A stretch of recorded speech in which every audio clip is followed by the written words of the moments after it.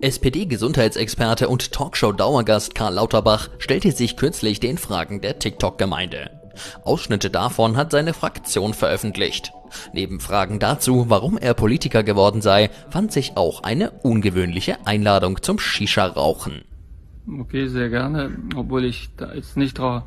Ich bin langweilig, ich bin also Vegetarier, Fischvegetarier und rauche nicht.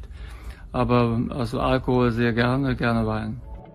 Lauterbachs gewohnt ruhige Antwort inspiriert die TikTok-Gemeinde zum Kommentieren des Videos. So stellt ein TikTok-Nutzer fest, er scheint etwas zu oft dem Wein verfallen zu sein. Und ein anderer scherzt, der Rotwein hatte wohl mehr Prozent als die SPD.